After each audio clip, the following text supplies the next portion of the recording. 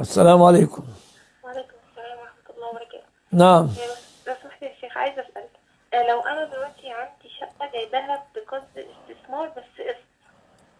ها؟ آه، عليها زكاة وهحسبها إزاي؟ تجارة يعني جايبها للتجارة. مش للتجارة جايباها ليا بس عشان أسيبها يعني. آه، عندنا شقة تانية عايشين فيها وجايبين الشقة دي عشان نسيبها بعد كده.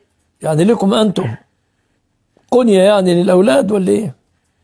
إحنا جايبينها بحيث بعد كام سنة لما سعرها يزيد ممكن نبيعها أو أيا كان. يعني مش مش مش حاطين حاجة معينة ليه. مش حاطين حاجة معينة ليس عليها زكاة. طب لو أنا جايباها عشان أستثمر فيها. إذا كنت تاجرة أراضي عليك زكاة. لا مش تأجيرة أراضي هي الشقة دي بس أنا جايباها عشان بعد كام سنة أبيعها وأكبرها وهكذا. والله إذا كان للتجارة عليها زكاة طب أنا أحسب الزكاة إزاي وهي قسط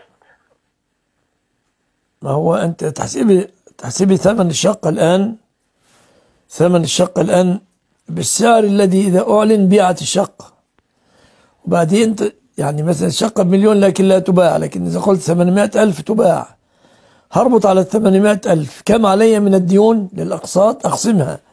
من ال 800 ألف. علي مثلا 10 أقساط. القسط مثلا ب 50 ألف. أصبحت 500 ألف.